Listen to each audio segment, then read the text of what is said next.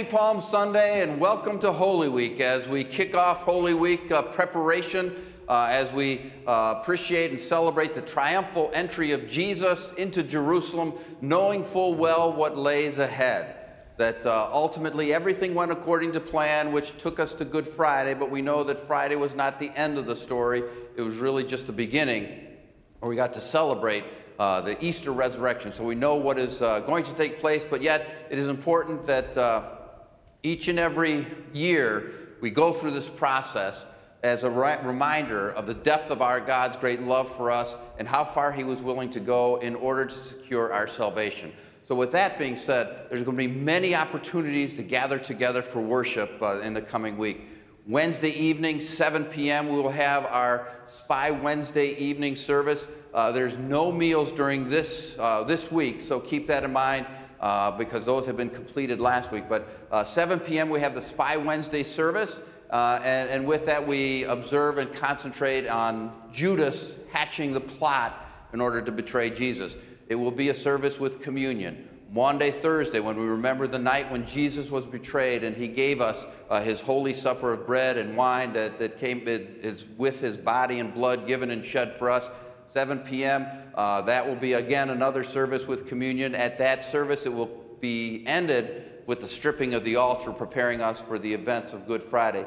Good Friday service at 1 o'clock uh, p.m., another service with communion, uh, and then the Tenebrae service, the service of darkness, at 7 p.m uh, and would love to have you enjoy, uh, join us in all of those. All of those services will be different. Then, of course, next Sunday uh, at this time, uh, the first service will just about be over. Well, well, it should be over by then. 6.30, 9, 11, with uh, breakfast at about 7.30 with that. Communion will be served at all three of those services, and we hope and pray that you will join us for all of those different opportunities with that. So keep that in mind. Uh, again, reminder no meals on Wednesday or Thursday this year, so keep that in mind. Also, want to give you an update. Our girls' uh, seventh and eighth grade basketball team has done extremely well. They, they won their first uh, couple games with that, and, and then they, they lost a heartbreaker yesterday to Hales Corners in Wisconsin. Uh, that is really one of the largest churches in our church body. They, they held strong, was very close. Unfortunately, they lost. I believe that they are tuning in at this time together as a team. So, uh, congratulations, girls, with that. They will be playing the next game at 9 a.m. Uh, here this morning. So, they have an early start there. They're in the bracket now where they're playing for fifth through eighth place. Uh, we are very proud of what they have done and, and the accomplishments that they have made throughout this season. So, congratulations, girls, with that. And then, just as a reminder, uh, we are nearing the end. Next week will be the final Sunday with those surveys that we handed out with clarifying our calling. Talked about things you love about St. Paul, some things that are missing, uh, where you would see St. Paul to be in five years. And even if you are a visitor, uh, we'd love to have you fill that out. There's a question just for you. What it is, is it that has brought you uh, to join us in worship here this day. And even if you're online, please fill that out as well. We would love to hear with you. Uh, there's paper copies on the visitor information booth on that side, also online copies as well. As far as with the QR code, you can uh, zoom in with that and uh, participate with the questionnaire. So, in just a moment, be making my way to the back. We'll have a procession here this morning. Unfortunately, uh, somebody loved the palm branches so much that they took them all. We don't know where they are just yet. We, there's a few that are here today. Hopefully by 9 o'clock we can get that figured out. Uh, they disappeared from Thursday uh, to this morning. And so we're, we're looking at that, but we're going to have the palm procession with those palm branches that we have. In a moment, we're going to have the procession with the cross and the Bible. And so as we begin our opening hymn, we invite you to please rise and face the cross as it makes its way down the center aisle.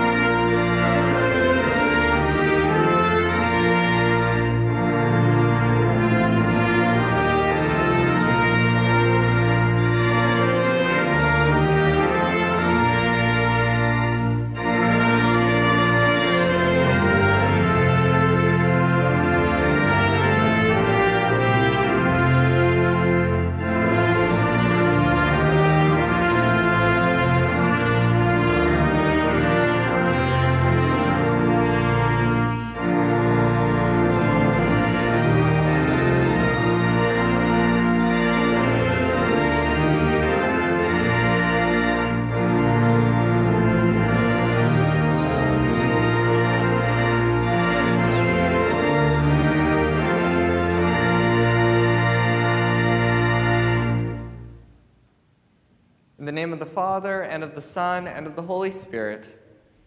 Amen. Blessed is he who comes, who comes in the name of the Lord. Hosanna to the Son of David. Hosanna in the highest. As we enter this holy week of our Lord's Passion, let us confess our sins to God and to one another. God of compassion, we confess to you that we have sinned against you and against our neighbors. We have been prideful. We have sought to overrule your authority as Lord of our lives. We have not listened deeply to your word. We do not deserve your kindness to us. In your abundant compassion, forgive us, Lord, for the sake of your Son, who gave his life on the cross for us. The Lord is full of compassion. He gives life. He heals the wounds caused by our sin. Therefore, I, by virtue of my office as a called and ordained servant of the word, announce the grace of God unto all of you. And in the stead and by the command of my Lord Jesus Christ, I forgive you all of your sins in the name of the Father, and of the Son, and of the Holy Spirit. Amen. The Lord be with you. And also with you. Let us pray. Almighty and everlasting God, you sent your Son, our Savior Jesus Christ, to take upon himself our flesh and to suffer death upon the cross. Mercifully grant that we may follow the example of his great humility and patience and be made partakers of his resurrection. Through the same Jesus Christ our Lord, who lives and reigns with you in the Holy Spirit, one God, now and forever. You may be seated for today's readings.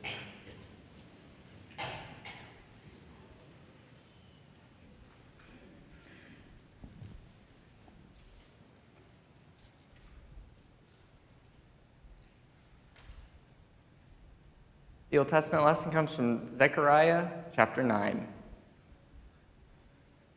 Rejoice greatly, O daughter of Zion. Shout aloud, O daughter of Jerusalem. Behold, your king is coming to you. Righteous and having salvation is he, humble and mounted on a donkey, on a colt, the foal of a donkey. I will cut off the chariot from Ephraim, and the war horse from Jerusalem, and the battle bow shall be cut off and he shall speak peace to the nations. His rule shall be from sea to sea, and from the river to the ends of the earth. As for you also, because of the blood of my covenant with you, I will set your prisoners free from the waterless pit. Return to your stronghold, O prisoners of hope. Today I declare that I will restore to you double. This is the word of the Lord. The epistle lesson comes from Philippians, the second chapter. Have this mind among yourselves, which is yours in Christ Jesus, who, though he was in the form of God, did not count equality with God a thing to be grasped, but emptied himself by taking on the form of a servant, being born in the likeness of men. And being found in human form, he humbled himself by becoming obedient to the point of death, even death on a cross. Therefore, God has highly exalted him and bestowed on him the name that is above every name so that at the name of Jesus every knee should bow in heaven and on earth and under the earth, and every tongue confess that Jesus Christ is Lord, to the glory of God the Father. This is the word of the Lord. Please stand for the reading of the Holy Gospel. The Gospel comes from John, the 12th chapter. The next day, the large crowd that had come to the feast heard that Jesus was coming to Jerusalem. So they took branches of palm trees and went out to meet him, crying out, Hosanna!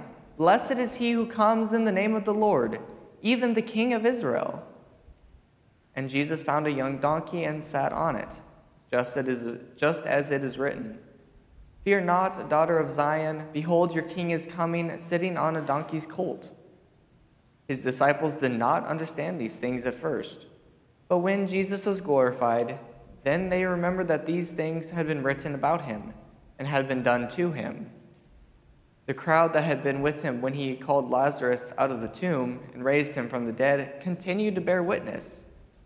The reason why the crowd went out to meet him was that they had heard he had done this sign. So the Pharisees said to one another, You see that you are gaining nothing. Look, the world has gone after him. This is the gospel of the Lord. Praise to you, O Christ. We confess our Christian faith in the words of the Palm Sunday Creed. I believe in God the Father Almighty, who sent his Son to earth to be the sacrifice for our sins.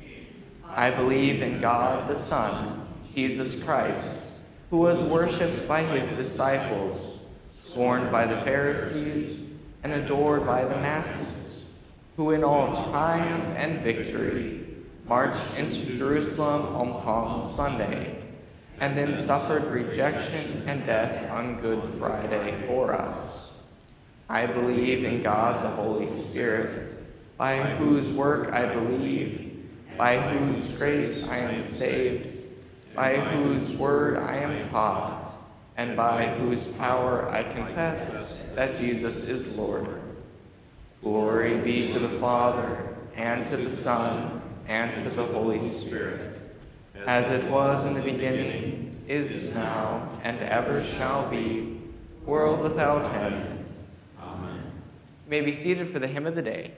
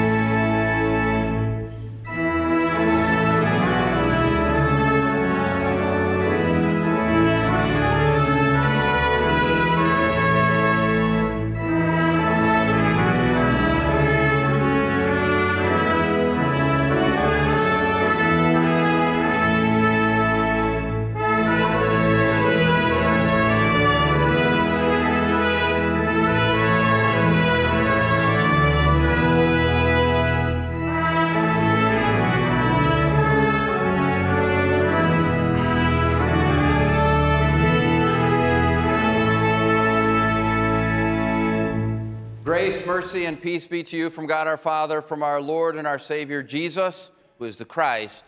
Amen.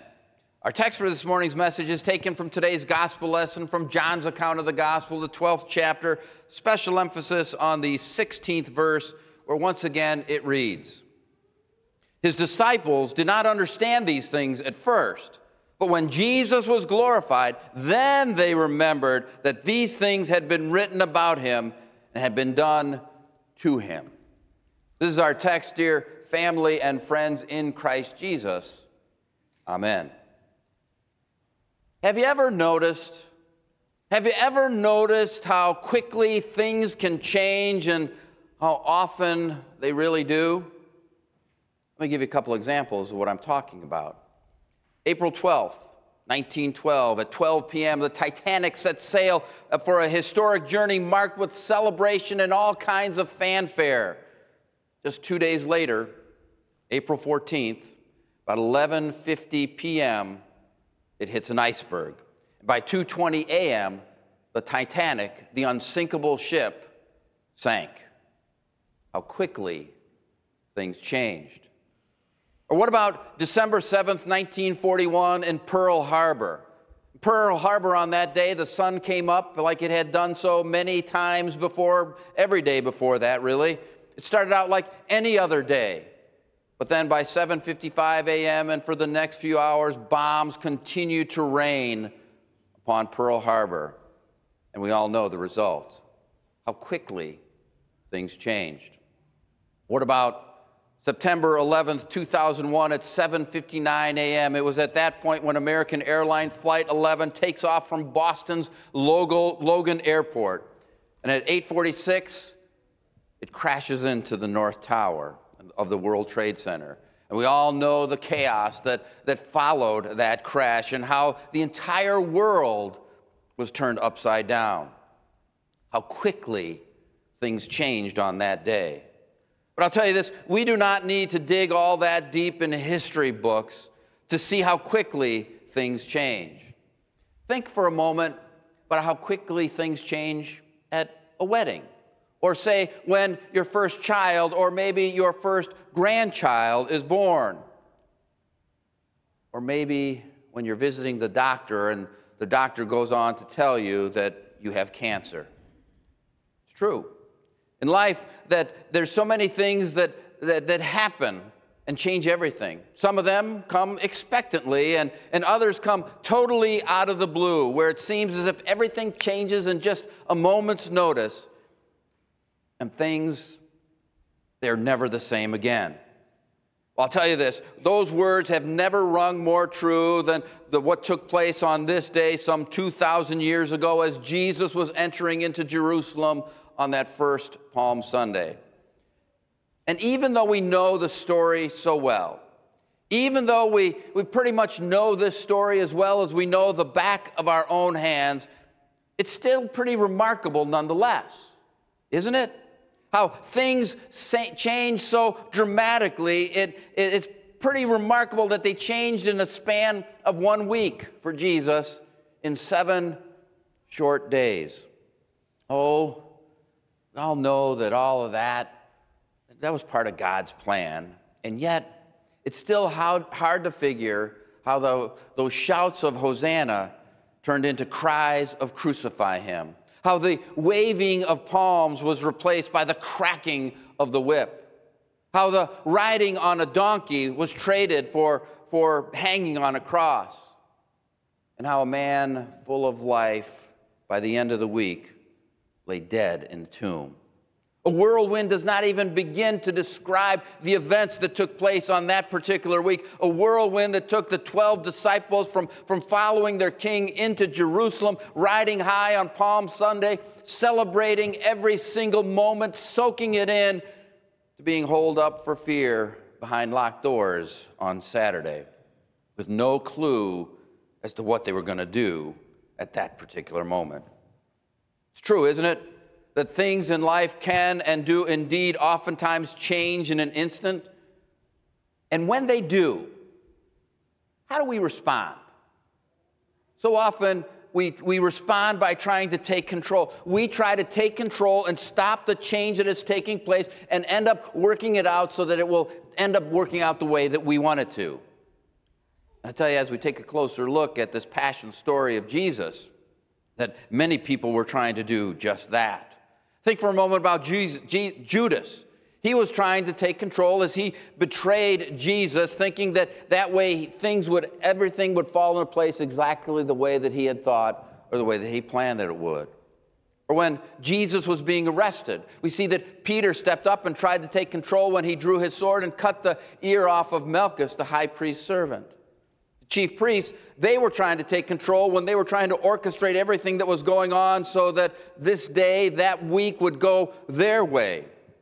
And Pilate, he tried to take control and exercise his control that he did have as Roman governor over Judea, uh, but even he was stymied. Even he struggled with it as Herod, with, by Herod and the chief priests and the crowd.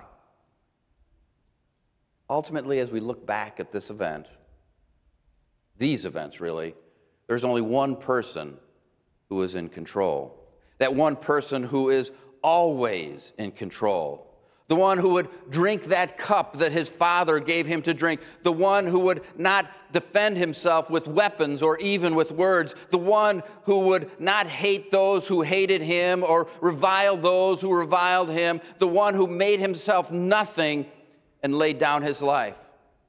Oh, uh, during that time, others thought that they were taking it from him, but they didn't. He on, they only did what he allowed them to do. Oh, he could have stopped all of the things that were taking place in an instant. He could have called out 12 legions of angels to stop those legions of soldiers who thought that they were in control with everything that was going on, because they would have had been, not been able to have any chance whatsoever against the legions of angels. But Jesus would not do that. Instead, the Almighty allowed himself to be bound. The judge of all allowed himself to be judged. The Lord of life, he allowed himself to be crucified. He controlled it all. And the thing is, as we take a closer look with the gift of perspective, we can see that even the words that he used show that he was not one who was caught in an out of control situation, but that he was very much in control. Remember, he said, Father, forgive them, for they know not what they do. He said, Today you will be with me in paradise. And he also said, Father, into your hands I commit my spirit. Things in life can and, and do change in an instant. But the truth of the matter is, nothing really changed that week at all. Everything that happened that week all went according to plan. Eh, that plan that was put together in the Garden of Eden right after Adam and Eve fell into sin and the entire world was plunged into sin and, and to death. All that took place so that the, the Son of God would be able to come and do this, to do what it was that he did, so that he could lay down his life for the life of the world, for your life, for my life, for everyone, so that we might have life. Here's the thing right now, all of you are his disciples. Just like those 12 disciples that he chose so many years ago, he also has chosen each and every one of you. You know the story. You know how all of the events that we are looking at this week, how that's all going to turn out, and that celebration that is waiting for us just one week from today. But the original 12 disciples, they didn't know all that. Even though Jesus told them, they still could not understand at that particular time all that was to come. Only later, only later they would eventually be able to figure it all out. They would eventually be able to remember all of those things that Jesus had said. That everything, everything went according to plan. That Jesus he was really in control the entire time. But as I said, each and every one of you here are his disciples. And as his disciples, we know that things in life oftentimes do change in an instant. And it does happen. Think about it in your life. One wrong word spoken, one wrong action taken, that can change your entire life. A careless word, that can end a friendship. An honest mistake can end up with you losing your job. A doctor brings you the word that that, that thing that you have in the body, that in your body, that it's, it's not curable. And they're not even sure if they have a treatment to make anything better. Or somebody else makes a mistake. Changes everything for you and your life as well. Maybe a drunk driver or a false accusation. Maybe, maybe a sin catches up with you that you did so long ago that you thought was hidden, that no one knew about it, finally comes to the surface and, and it causes your entire world to be thrown into chaos. Hurt that you caused can't be undone. And maybe, just maybe some days you feel a little bit more like Judas than, than any of the other characters in the Bible. Things in life can change in an instant just like that, and they oftentimes do. But in all reality, they did for you, didn't they? They did when you were baptized, when God's very name was watered upon your head and He claimed you to be His son. He claimed you to be His daughter and said, Father, forgive him, forgive her, for they know not what they do. He also says, You will be with me in paradise. At that moment, Jesus took you into his death and into his resurrection as well, so that you then would be given life and hope and comfort and salvation. At that moment, Jesus took everything that he has and everything that he did, and he gave it to you. And he made you a promise. He said that that, that is never, ever going to change. I will not take that back. You can, you can refuse the gift that I'm giving you, Jesus says, but I will never take my promises back that I have given to you. When you need mercy, I'm going to be there to give you mercy. When you need forgiveness, I'm going to be there to give you forgiveness. When you need life, I'm going to be there to give you life. He says, I gave my life for you, and that will never, ever change. So, maybe, maybe we've been going it all about it the wrong way after all. Maybe we haven't been doing it right at all. Just like Judas and Peter and Pilate and the chief priests, our, our, first instinct, instinct is to respond to the things that are changing around us, to, to take control, to make ourselves do something so that we can fix it and, and get everything back right on track. But Scripture tells us something different. Not sure if you caught it in today's epistle lesson. It tells us something very important. It tells us that we should make ourselves nothing. That's what St. Paul said. He said, Your attitude should be the same as that of Christ Jesus, who, being in very nature God, did not consider equality with God something to be grasped, but he made himself nothing, taking on the form of a servant, and being in the made in human likeness. And in that appearance, he humbled himself and he became obedient to death, even death on a cross. Here's the thing if we do that, if we have that same attitude that Jesus had, then we're going to be able to move forward in life with confidence, knowing that, yeah, it's true that things can and do indeed change in an instant.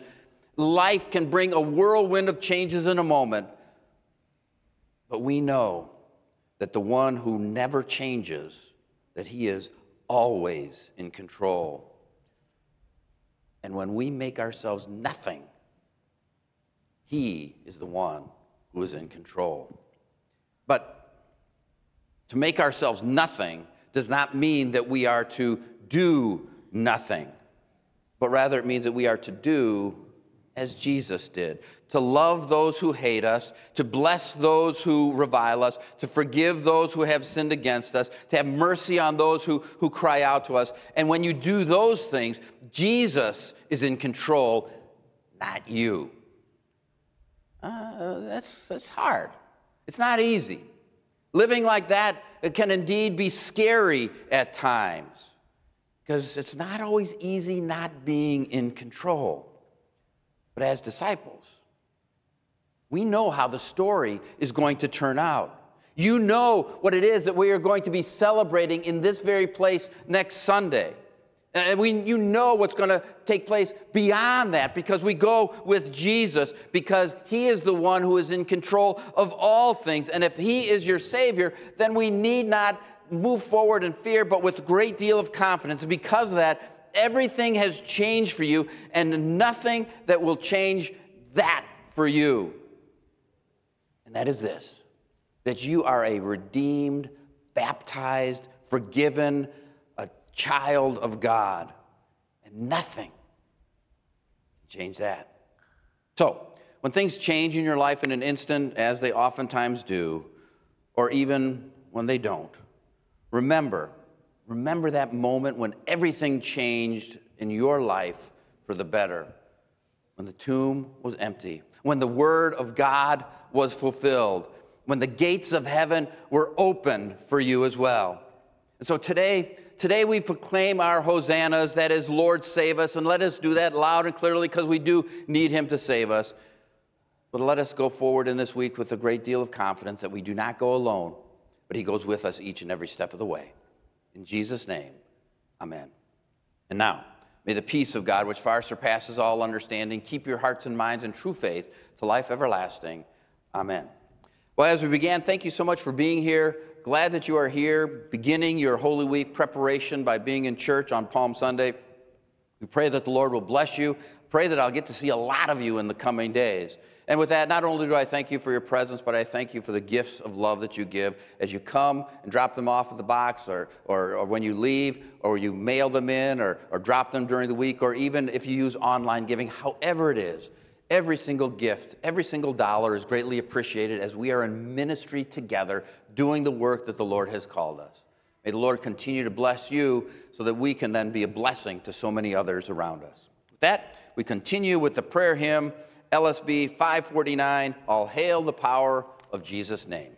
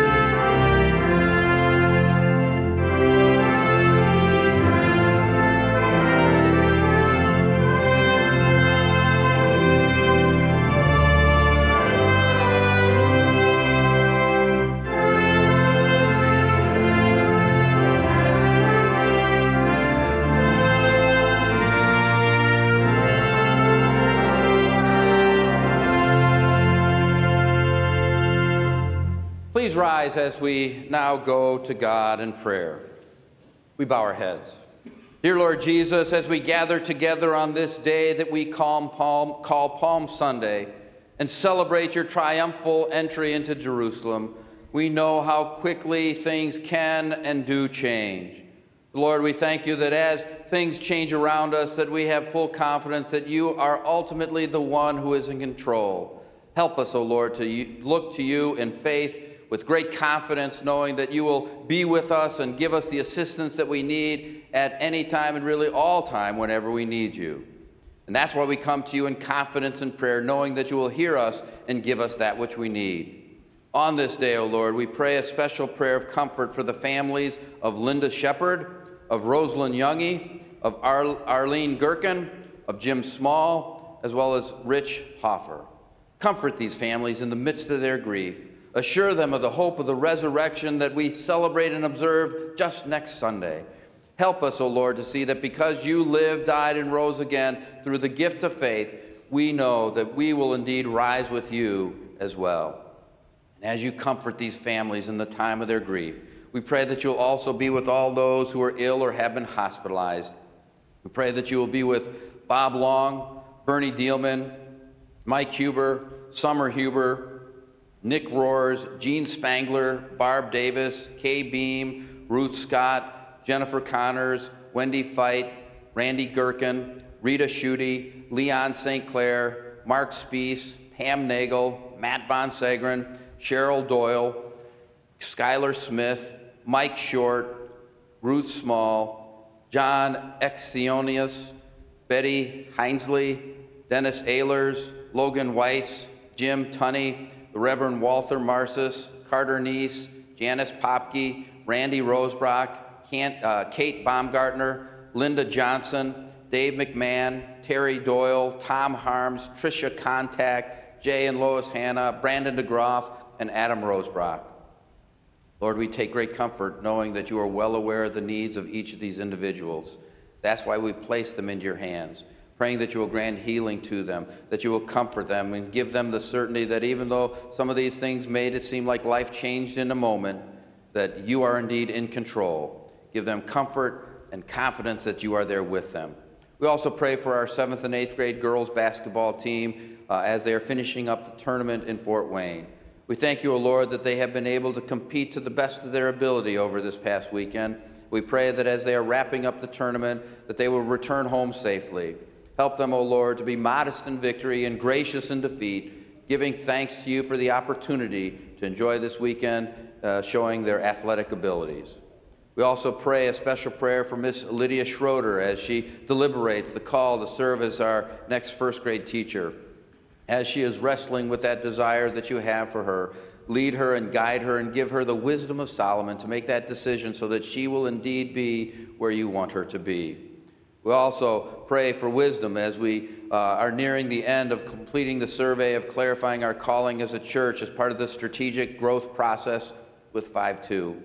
Lead us as a congregation throughout this entire process so that we can see those opportunities that are right before us and so that we can share the gospel message and grow your church, not for us, but for you and, and for the sake of the gospel. We also thank you for those men and women who faithfully serve our nation in the military. We pray for Major Brad, Major John Campbell, Lieutenant Colonel Kyle, Lieutenant Colonel Douglas Beneke, Major Daniel Rudolph, Lieutenant Commander Tiffany Lurch, Captain Richard Snyder, Captain Brian Schlade, Chief Warrant Officer for Jeremy Went, First Sergeant Joshua Bell, Master Sergeant Benjamin Lease, Staff Sergeant Alex Zavakis, Staff Sergeant Zarin Carr, Staff Sergeant Alex Behrman, Staff Sergeant Brendan Bosselman, MMN1 Lena Lurch, Sergeant Tristan Friedhoff, Sergeant Zach Miller, MMN2 Jacob Lurch, Staff Sergeant Nate Coulter, Corporal Derek Coors, Corporal Cameron Reefers, Specialist Emma Coors, Specialist Grant Lugo, Specialist Grant Grace Hopkins, Petty Officer Camden Short, Senior Airman Taylor Baker Coulter, Senior Airman Maxwell Phillips, Airman First Class Carter Niekamp, Airman First Class Noah Schuler, Airman First Class Landon Moore, and Private Andrew Leverett. Lord, we thank you for these individuals who put their lives on the line for you. Protect them so that they may continue to preserve the freedoms that we as a nation enjoy. All these things, O oh Lord, we ask in your most precious name as we now together pray that prayer that you have taught us. Our Father, who art in heaven, hallowed be thy name. Thy kingdom come, thy will be done, on earth as it is in heaven. Give us this day our daily bread, and forgive us our trespasses, as we forgive those who trespass against us. And lead us not into temptation, but deliver us from evil. For thine is the kingdom, and the power, and the glory, forever and ever. Amen. The Lord vindicates his people through Jesus' suffering, death, and resurrection. The Lord bless you and keep you. The Lord make his face shine on you and be gracious to you. The Lord look upon you with favor and give you his peace. Amen. We conclude our service here this morning by joining our voices in singing LSB 441, Ride On, Ride On in Majesty.